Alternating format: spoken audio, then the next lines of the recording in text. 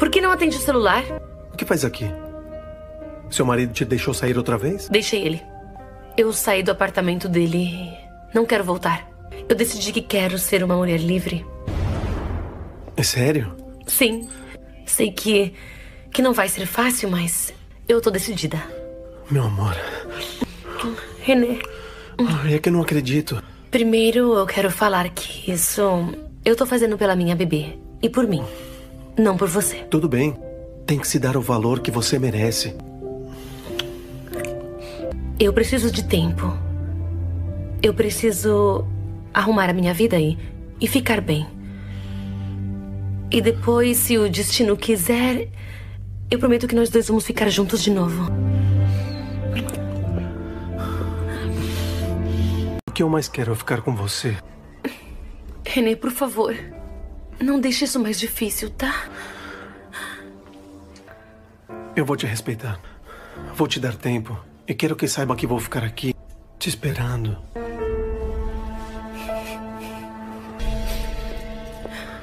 Eu queria escutar a sua voz. É? Eu só queria saber como você tá. Tô muito bem. E você? Sentindo saudade. Eu também sinto. Desculpa, eu. Eu tentei respeitar a sua decisão. Mas não posso ficar sem você. Por favor, me deixa demonstrar o quanto eu te amo. Podemos ser felizes. Realmente acha isso? Olha, por favor, fala onde você tá e eu vou imediatamente para aí. Você é tão linda que essas flores empalidecem com sua presença. René, isso não tá certo. Mas por que, se nós dois nos amamos? Eu decidi que jamais, jamais vou me separar de você. Quero ficar com você. Quero tomar conta da Nancy. Eu quero me casar com você. Vamos fazer isso, não é? Te amo, Noélia. Te amo e. Não. Não sei. Olha, eu acho que. Ai, para.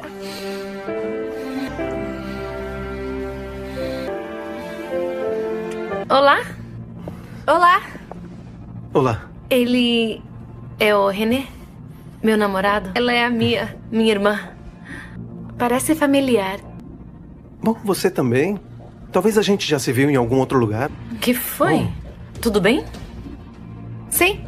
Depois explico. Nos vemos logo, tá?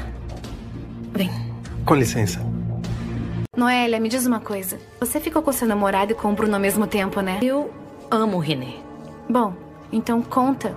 Porque a verdade é sempre revelada. Ele acha que. que eu sou casada. Não sabe que eu sou amante de um homem casado. Por que não tá pronta? René, você tem sido muito bom e eu não mereço. Então fala que mulher é pra mim. Você não sabe. Ah, tudo que eu passei, tudo, tudo que eu fiz. Eu me importo com o seu presente. Me importo com o seu futuro. Eu não sei se é a mulher pra mim, mas eu te amo.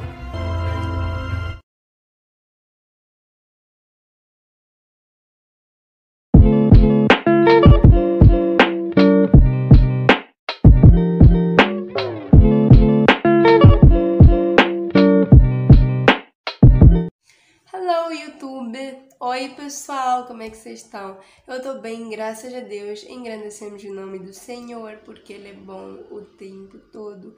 Queridos, para quem sabe ler, já leu. Para quem não sabe ler, com carinho, com respeito, eu explico. Eu tô dizendo que a continuação da parte 4 está na parte 5, que eu vou postar quando? Amanhã, exatamente. Então, quem estiver a gostar dessa história, é só aguardar que eu vou postar amanhã, não hoje. Vocês vão ter que me desculpar muito, é que eu posto quatro vídeos por dia, não tem como eu esgotar isso, chegar ao limite de cinco diários, não tem. Então, são quatro vídeos, já parte 5, vocês vão assistir amanhã, e é isso. E deixa-me só explicar como é que as coisas funcionam um pouco aqui.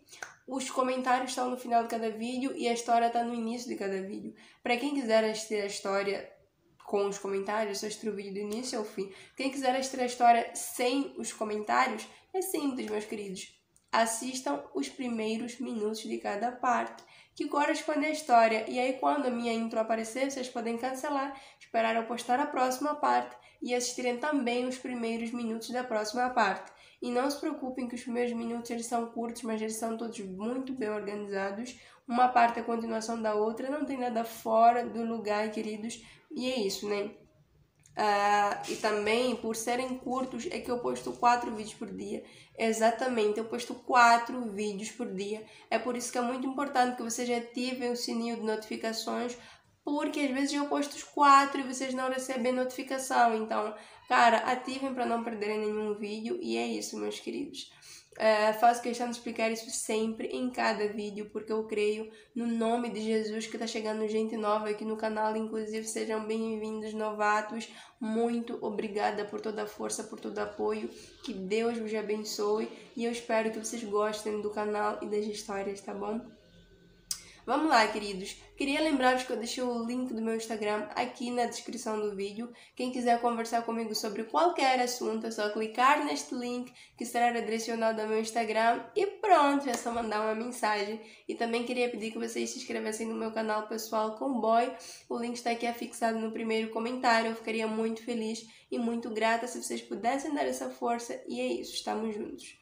Vamos lá, queridos. Na parte anterior aconteceu muita coisa. Uh, eu poderia chamar até a parte da lua de mel de Noélia e René. Por que tu? Já dessa parte foi ridícula. Eu não gosto muito dessa história, por isso que eu tiro tanto sarro assim. É simples, porque.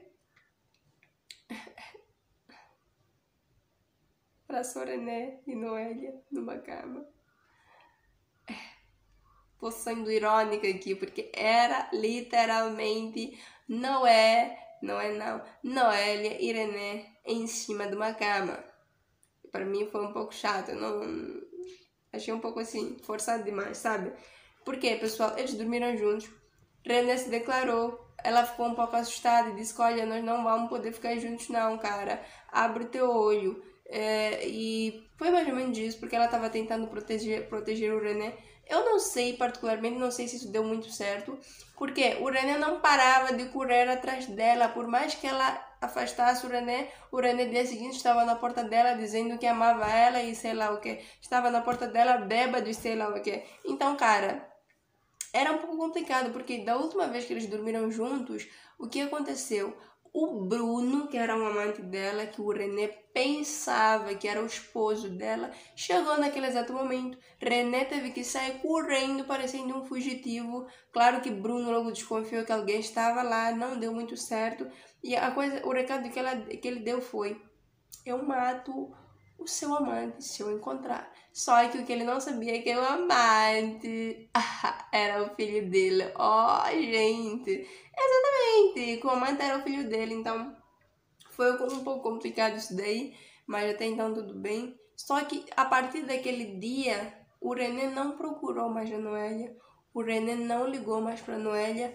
Por quê? Porque ele sentiu, cara, que fazer aquele papel que ele estava fazendo era um pouco desgastante ter que sair correndo porque o suposto marido dela chegou é cansativo. Segundo que ele já estava farto de aconselhar a Noélia a terminar a relação porque ele batia nela. Então, cara, era o tipo de decisão que a Noélia precisava tomar. Então ele ficou e pensou e ficou tipo, nossa, não faz sentido viver correndo atrás da Noélia para depois, no final das contas, quando eu estiver com a Noélia e ele aparecer, eu ter que sair fugindo, correndo, parece não sei o que. Eu acho que aquilo machucou o René. Mas a Noênia tomou uma decisão que eu sentei e eu aplaudi, cara, porque ela decidiu largar o psicopata do Bruno ou pelo menos tentar, mas então ela, até então ela largou. E foi aí que ela foi conversar com o René e ela explicou que ela precisava de um tempo, ela tinha acabado de terminar a relação dela agora, que precisava colocar as coisas no lugar, o que eu acho muito certo, porque a meu ver não é certo colocar uma pessoa aqui no coração enquanto o coração ainda não está pronto, não está fortalecido, porque de uma forma ou de outra tu vai acabar machucando a pessoa que está lá, então é importante que a gente se sinta preparada para entrar numa nova relação e, até, e a Noelia queria esse tempo para ela, para poder se organizar, até porque ela estava abrindo uma confeitaria com as irmãs, vocês viram. Só que passou um tempo, o, o René voltou a ligar para ela, que estavam com saudade e tudo mais, se encontraram e foi aí que eles reataram.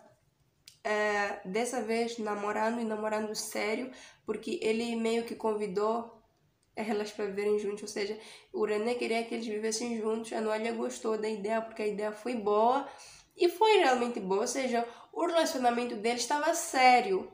E até o momento em que apresentou a irmã, a Noelia apresentou a irmã dela e tudo mais, só que a irmã também não achou certo o fato da Noelia estar a esconder que também teve um relacionamento com o Bruno.